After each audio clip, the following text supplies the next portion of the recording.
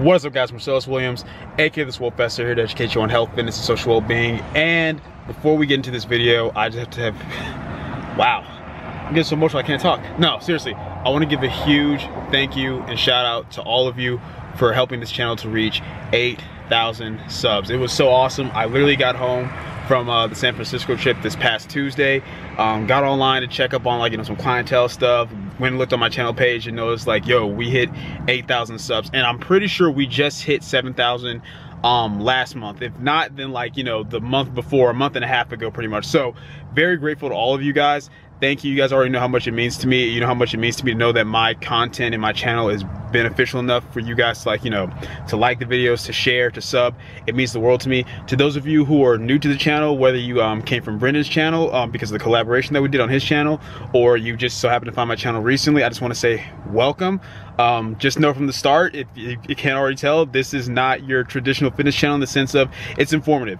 I want every video that I do to be informative or beneficial in some way, shape, or form in relation to health, fitness, or social well-being. You're not gonna get a lot of the usual stuff that you get with other fitness channels. Um, not that I knock all of it, but um, I do knock some of it because I think a lot of it's just stupid, mindless entertainment or something, or constantly trying to, you know, sell you something. But um, you know, things like, you know, uh, full days of eating, uh, lifestyle vlogs, stuff like that. You guys aren't gonna get a whole lot of that from me, with the exceptions of like, you know, if I go to an expo or a special trip like I did in San Francisco, I wanna take you guys with me and show you things like that. But the closest you'll really get to daily vlogs on this channel will be like videos like this, workout related videos, where I'm explaining what I'm doing or explaining different concepts behind what I'm doing so that you can know the why behind what I'm doing so that if you try to replicate it, you'll know why you're doing what you're doing. But uh, yeah, it's pretty much, I just wanted to kind of address that. Now that's out of the way, letting you guys know right now, I'm actually about to head to Metroflex Gym, gonna get a workout in with my boy Michael. You guys seen him on the channel before. If not, you'll see him today. He's also a 74 kg powerlifter, stupid strong. Um, he has his own programming as, as far as I think he squats and bench today. Today's a bench day for me, but he's gonna be joining me for my accessory work. And this is actually, um, you guys saw day one in my last video. You saw what day one on the new training block for this uh, strength mesocycle looks like. So now you're gonna be seeing day two. And at the end of this video, I'm gonna be taking guys just through all of the programming so you can see what it looks like. And then during the actual workout itself, I'm probably gonna do a voiceover. If I don't just talk to you guys like raw, it'll probably be a voiceover because it's really loud in Metroflex. Explain to you guys kind of like my program set up in terms of the difference between a workout program that's based upon movement patterns versus body part splits. Because a lot of you seem to be confused because a lot of you guys are like, hey, what's going on for Fester? Do you still like full body? Or like, it seems like some of your days are full body. It seems like some of your days are like upper, lower, or some of your days look like, like you're doing like all push muscle groups, all pull muscle groups, you know, including the legs for the push and pulls. It's like, what's going on? So I'm gonna explain to you guys kind of like what the difference is between focusing on movement patterns and then uh, focusing on body part splits and kind of what I'm doing with the made movements versus the accessory and explaining why, you know, focusing on movement patterns for me right now and just having a higher focus on frequency is important and kind of how it just all relates so you guys can have a better understanding of that and really why I think you should be more focused on movement patterns instead of getting too fixated with just straight body part splits. Don't get me wrong, when we're talking about hypertrophy, yes, you want to train each muscle group twice a week. You guys, you guys know that, you've seen my videos over stuff like that, but you're gonna have a lot more clarity on like why my programming is set up the way it is. But for now, let's head to the gym. All right, guys, so here with the homie Michael once again. Uh, for those who don't know you, man, because I actually have some new subs now. Your boy's making it up there. Nah, but uh, just tell them a little, like, you know, where they can find you on Instagram, uh, your best lifts, all that good stuff, weight class. Um, my name is Michael C. I'm a 74 kilo or 163 pound USAPL powerlifter. Um, I just recently competed at the Arnold in Ohio and I won the A7 Barker Brawl Challenge. Um, you can find me on Instagram at M-A-S-E-A-Y-J-R. I know that's kind of confusing, but... That's all good. So it'll be on screen. And then tell um, them uh, your best, best lifts. My best squat is, is 556 pounds. My best bench is 358 pounds. And my best deadlift is 601 pounds.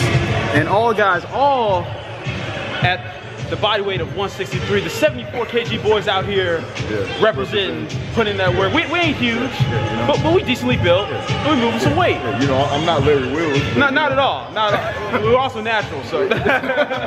no offense, no offense. But anyway, um, yeah, so um, Michael's about to do his squats, and then we're gonna get into bench and the accessory work, so you guys can see all of that. So enjoy the workout, and enjoy the voiceover. Alright guys, getting right into the topic at hand, which is of course focusing on movement patterns versus body parts when it comes to how you set up your routine or how you basically split up your days, you know, upper, lower, versus maybe saying, oh, a bench day or squat day. And pretty much, guys, these two things actually go in hand in hand. They're not completely separate, but let's kind of like just get a few distinctions out of the way first. So, of course, you guys pretty much already know that when we're talking about a body part split, you're pretty much grouping your, um, your days based upon just that body parts, right? So if we're talking about something like a traditional bro split, which you guys know I'm not about at all, then that would be like pretty much just hitting each muscle group once a week. So on that particular day, say Monday's your chest day, you're just focusing on that muscle group. Now, more ideally, you're going to set up your body part splits into something like, you know, a push pull where you do all your push muscle groups for both upper and lower. So, for example, you may squat and bench on that day because those are both push based movements, even though you're still hitting your legs and your chest, your triceps and shoulders. And then your pull day would be like, you know, back, biceps, and hamstrings. So you may do deadlifts on that day, pull ups, rows, leg curls, etc. Then, of course, there's upper lower where you simply have upper body days, hit all the muscle groups in your upper body, and then lower body days where you hit all the muscle groups in your lower body. And then there's things like, you know, push pull legs. And then, of course, um, ideally things like full body routines where you're actually hitting pretty much a little bit of everything every single workout session. You do that pretty much every other day or every 48 hours. And the idea behind why things like, you know, push pull legs or push pull or upper lower even full body is more ideal than um, a bro split. Once again comes down to frequency right? Because if you're hitting each muscle group at least twice a week you're going to be able to get a whole lot more total volume into those um, muscle groups for each week. And as we all know total volume is the most important thing when it comes to building up hypertrophy. And you guys have seen me do videos over that before so you guys can easily just search you know um, uh, the Swolefessor full body routines or the Swolefessor um, muscle hitting muscle groups two times a week, just things like that. You guys have hopefully most of you have seen videos over stuff like that before and the importance of frequency. Well, the same thing is true, guys, when you're trying to get strong on a particular movement. Simply put, I always, as I try to explain to you guys, building muscle is simply a physiological response to your training. But building strength, that is a skill. It is something that you have to practice. And basically, strength is specific to the movement you're working on, right? If you do a bunch of push ups, you're gonna get better at push ups. If you do a bunch of pull ups, you're gonna get better at pull ups. If you do a bunch of squats, you're gonna get better at squats. A bunch of bench, you're gonna get better at bench, and so on and so forth. So, the reason that I have certain days that may, if we look at it from a body part perspective, look like, oh, this is an upper day, this is a lower body day, oh, on this day it's kind of like a full body day, is because my programming, as far as the main movements, is not focused so much on muscle groups, it's focused on the movement patterns that I'm uh, competing with, being bench, squat, and the deadlift. As a powerlifter, my goal is to get as strong as I can on those three movements. So it's all about, once again, frequency. I want more frequency so that I'm practicing with the movements more times throughout the week because more practice is going to make me more proficient at the movement. But then it's also to help me get more total volume in with the movements as well because more total volume is going to help me to build strength as well as help me to build muscle with those movements. So that's the big thing as to why like my program isn't on the basis of necessarily like an upper lower or a push pull or anything like that because as you guys are going to see when I go through these programs, some of my days look like straight push days. Some of my days look like more like straight pull days. Some look like upper lower, and then there's even one day that kind of looks more like a full body, or it can be seen as a push day, either or, just because there's like squats, but then there's also upper body stuff on that day as well. Now, the reason these two things go hand in hand, guys, because even if you're someone who's not focused on specific movements, maybe you don't care about the big three, you're focused on just maximizing your muscle growth, you still want to focus on those movements that are going to give you the most bang for your buck, your big compound movements, even outside of the big three, things like your pull ups, your overhead press, weighted dips. Your big compound movements are going to help put the most size on you. Not that accessory work isn't important, clearly it is, because you guys can see that the gym closed early and we actually went back to my place to do our accessory work. But my point is, you want to have a handful of movements that you focus on getting better at because if you can't gauge your progression on specific movements, it's really hard to gauge if you're getting stronger. And as you guys know, there's a direct connection between strength and hypertrophy. Even though one focuses a little bit more on intensity, the other one focuses a little bit more on volume, you need both to build both, right? You need a certain level of intensity, as in load on the bar, in order to build muscle, and you need a certain amount of, you know, your minimum effective volume to build muscle, and you need the a minimum effective volume to build strength as well. So when we look at all those things in combination, it makes sense to have a focus on frequency, regardless of what your split is like. You want to have a high frequency for your body part splits where you're hitting each muscle group at least twice a week yes. But if you're able to hit it more than that, even three times a week, even though, yes, I know there's a lot of research coming out showing that, oh, there's no need to hit a muscle group more than twice a week so long as volume is equated. But if we're being realistic, it's just hard to match the amount of total weekly volume you're going to get if you're hitting something, you know, three or four times a week versus only twice a week. And beyond that, we have to think about the fact that once again, if we're practicing and moving more often, we're going to get more efficient at it. If I'm squatting three times a week, I'm going to get better at the squat than if I'm just squatting twice a week. And since it's going to help me get better at it and get stronger at it and more technically proficient at it, potentially, even from a hypertrophy standpoint, it means I'm going to be able to move more total weight on the squats. Why? I'm getting stronger on it faster. That more total weight is going to add to the total volume. And that is what's going to allow me to not only get stronger, but to build more total muscle. So don't get caught up in just thinking like, okay, just twice a week for everything and that's good. If you can push higher frequency than that, which is one of the reasons why I enjoy full body routines from a hypertrophy standpoint, but if you're not doing that, if you're doing something that's set up more like this, where you're focusing more on frequency of movement patterns, that's still going to help you. Because even with this program, guys, I'm still hitting everything quite a few times a week. I'm squatting two times a week, deadlifting twice a week, bench pressing three times a week. So I'm still pretty much hitting each muscle group actually um, three times a week minimum as far as like you know my my upper body as far as my shoulders my back and my legs everything. Everything is getting stimulated and it's all because of the frequency. But i just want to explain kind of the difference between that focusing on movement patterns versus body part splits but how the two still go hand in hand. They're not completely separate. And why having a greater emphasis on frequency and total weekly volume as i've explained on this channel before is most important when it comes to building strength or muscle mass. But that is pretty much all i had to say guys. Enjoy the rest of the video and like i said if you want to see what the entire program breakdown for this current mesocycle looks like. Make sure you stay through to the very end. I'll talk to you guys next time.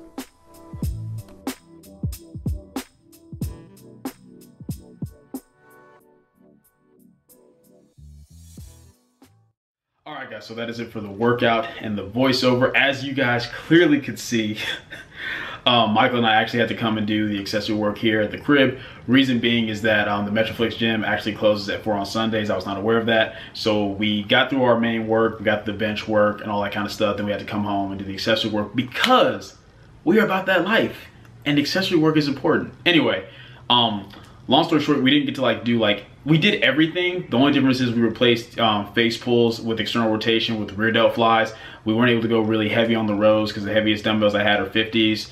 Um, but everything else was pretty much on point as far as like, you know, the dumbbell shoulder press and uh, the tempo pulse and everything like that. So now that all of that is out the way, I'm going to go ahead and take you guys through what my current programming looks like. So you guys know that with the old um, the old mesocycle, like both the first mesocycle and the mesocycle after that, this is my third mesocycle that I'm doing under Brendan it was all about like movement prep focus. So now we are focused on actually building more strength. So the movement prep focus phases were all about technique. This is about actually building strength. So of course the volume is a little bit is a little bit higher and um, the intensity is higher as well because we're trying to you know push more workload to build more muscle, build more strength, etc. So going through it, day one, which you guys saw in the last video, that was the day with the squats, the deadlifts. So it starts off with uh, competition squats. I work up to two heavy sets. The first set is a set of three at RPE 7, and then the second set is a, a double at RPE 7. And then next week it'll be RPE 8. So the first week was RPE 7. Yesterday was also RPE 7. I pretty much did the same thing as I did um, last week, but I think last I think that first week I did like my triplet 345, my double at 355. This time I did my triple around 355 and my double around 363 to 365, whatever it was for kilograms. So next week I'll go even even heavier because it'll actually be at RP 8. Then after that, I have back down sets, three sets of three with a certain percentage of my top set. So for example, yesterday my three sets of three were 341 pounds because that was 7% less of my top set, which was 363. But then next week, it'll probably be a little bit more like 9% taken away just because the work, the top set will be even higher at a RP8. So that's what that looks like. Um, and then for competition deadlifts, I work up to one set of two, so a heavy double. Um, RP7 was yesterday, so next week will be RP8. And then I have back down sets that are four sets of two, and those are just set for me already. So like the first week it was like 385 pounds for my four by two back down sets. Yesterday it was 395 pounds. So next week it's probably gonna be, yeah, it's 405 pounds. And then after that, it's just my accessory work. So I have Bulgarian split squats, three sets of seven at RP7, and then I also have um, I have uh, planks, three sets of 30 seconds with as much weight on my back as possible for the plank. So that's what day one looks like on this mesocycle. It's pretty much my heavy squat and deadlift day, and it's a lower body day if you want to look at it that way. Like I said, like hopefully you guys now understand like the difference between focusing on movements versus um like body splits. But that's like my heavy lower body day, right? Then day two, which is what you guys saw today, is pretty much all about the bench press. So as you guys saw, it's kind of similar setup to the squats two heavy sets. The first one was a triple at RP7. Then the second is a double at RP7 as well. Um, you guys saw that with today. I did 282 or 283 for my triple. It moved more like an RP6, but I didn't bump it up. I'm like, okay, well, I'll just do RP7 on my double. And I start off with like 293. It still moved at RP6, so then I went to 298, and that moved at the RP7. Then I had back down sets, three sets of three with 7% less than my top set. So that really would have been 279 pounds, but the closest we can really get to that with kilograms is 275 pounds. So we did that.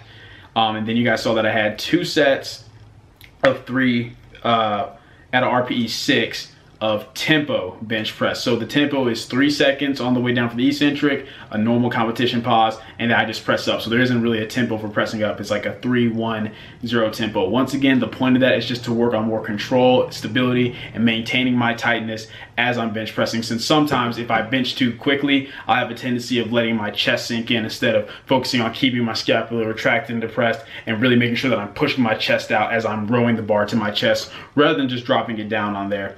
And then after that, you guys saw what the accessory work was for today. So we have controlled tempo pull-ups, um, seal rows of choice. I'm going to be doing dumbbell seal rows. I did kind of a variation of that today just because we did here at the crib. Um, dumbbell overhead press for four sets of 12 at RP8. And then usually it'll be face pulls for three sets of 15 at RP8. In the in the controlled pull-ups, it's just three sets of four. I'm just going to keep increasing the tempo pretty much. Or I may even like keep the tempo the same and gradually add weight to it because I'm strong enough to do that. We'll see. And then with the seal rows, this uh, should usually be three sets of eight RP8. Once again, the heaviest dumbbells I had were 50, so obviously that didn't go down. And then you guys will see the rest of the programming, like as I show you the day. So I'm still gonna take you through right now. So I will rest Monday. So we go Saturday, Sunday, rest Monday, then Tuesday. And this is where you guys get confused because it's like, wait, is it upper, lower, or not? Because this looks more like a full body day. So I have high bar squats. I have one top set of four at a RP7, then two back down sets of five with 7% less than whatever my top set is at. Then I have bench press for a top set of four at RP8, followed by a four by five for back down sets with 240 pounds. Then dumbbell overhead press once again, but this time it's four sets of eight at RPE6, tricep push downs, and um, so four sets of 10 and then lateral raises for five sets of 12 at RPE8. So some of you are gonna be like, well, is that full body because he's doing bench and squats, so he's technically hitting like his entire body, or is it just like a full push workout because he's got bench, squat, tricep press down, shoulder presses, or all push workouts? Once again, it's not based off split a body part split, it's based off movements. And that's why I emphasize that so much that you guys aren't confused by that. If you still are, leave question in the comment down below, you know I'll answer it. Um, so then that's what Tuesdays look like. Wednesdays are my secondary deadlift day. So I come in and I do competition deadlifts. Now on this mesocycle, my secondary deadlift day, the weight doesn't change. It's always 405 pounds, but the sets will increase each week. So last week I did four sets of two with 405 pounds. So uh, this week I'll be doing five sets of two with 405 pounds. It's just another day to get more volume in, um, to work on the technique, but not push it so much to where I overexert my body because it's just really taxing to pull conventional twice a week. You can get away with doing that with sumo, or if you pull conventional one day, then sumo on another, like I was doing during my movement prep phase. But when you're pulling conventional twice a week, just due to the nature of the movement and the way um, it works the nervous system, all the muscles involved being so close to the spine, you just have to be really careful with your recovery. So that's why that's set up that way. And then after the deadlifts, I have uh, superset leg extensions with leg curls for three sets of 12 at RPE 7 and then I do uh, side planks for three sets, holding as long as I can. And then ab exercise of choice, three sets of 15 at an RPE 9. You guys know I like to do like weighted ab movements or hang ab movements, so it'll be something like that. And then Thursdays, which are the last training days of the week, is just my pretty much like my higher volume upper body day if you want to look at it that way. So I have competition bench press for five sets of six with 240 pounds, and that's what it will be every time on this mesocycle for all the weeks. It was five sets of six with 240 last week. It'll be five sets of six with 240 this week, and it'll be that next week and then for the final week as well. Just because it's just a way to get more total volume in. I'm still increasing the weight on the other two bench days. It's just a third bench day to like really boost more volume for more total workload, work on technique, etc. Then after that, um, I have a chest supported row of choice. I've been using the hammer strength row that you guys see me use before on this day for four sets of 12 at RP7. Then I have lat pull downs for four sets of 15 at RP7. So just normal lat pull downs now, not the single arms that I was doing during the movement prep phase. Then I have um, neutral grip reverse cable flies, so five sets of 15 at RP8. You guys will see what the difference is with the neutral grip versus the normal cable flies that I do. And then uh, an arm superset of choice, five sets of 15 at an RP9. So I superset a tricep movement and a bicep movement. So yeah, that, my friends, is what your boy's programming looks like on the semester cycle. Like I said, it's a lot more fun than what the movement prep phase was. Not that the movement prep phase was not important. It was definitely important for um, working on some faulty movement patterns, just building a better technique so that now I can push the weight more, but more efficiently. Because that's the thing you guys have to keep in mind. Proper technique, like we always say on this channel, lets you lift stronger for longer. It, yes, it helps with preventing injuries, but it helps with more optimal performance as well. But yeah, I think that's everything. That's it for this video. Hope you guys enjoyed it. If you did, go ahead and leave a comment down below. Let me know what you did. If you did not, leave a comment down below. Let me know what I can do to get better. Like the video, share, subscribe. Keep it simple, specific, scientific. I'll catch y'all later.